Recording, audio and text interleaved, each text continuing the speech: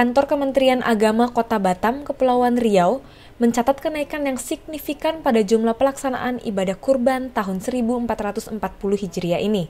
Kepala Kantor Kemendak Kota Batam, Zulkarnaim Umar mengatakan, untuk tahun ini jumlah hewan kurban yang disembelih di Batam adalah sebanyak 3.905 ekor.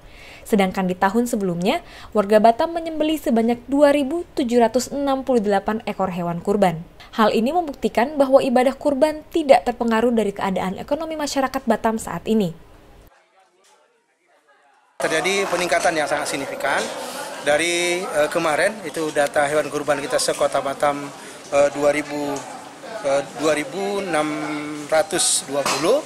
uh, itu meningkat jadi uh, 3904 ekor uh, keseluruhannya. Jadi ada naik 41 persen dari tahun yang lalu.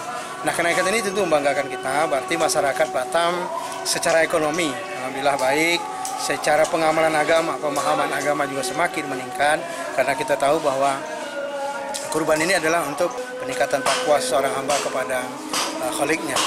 Dan ke depan tentu harapan kita menghimbau kepada seluruh masyarakat, terutama di masjid, musola, instansi pemerintah, agar membuka tabungan kurban. Gunanya untuk memudahkan masyarakat, insya Allah setiap tahun bisa kurban. Dari Batam, Kepulauan Riau, Andri Sofian Tribrata TV, Salam Tribrata.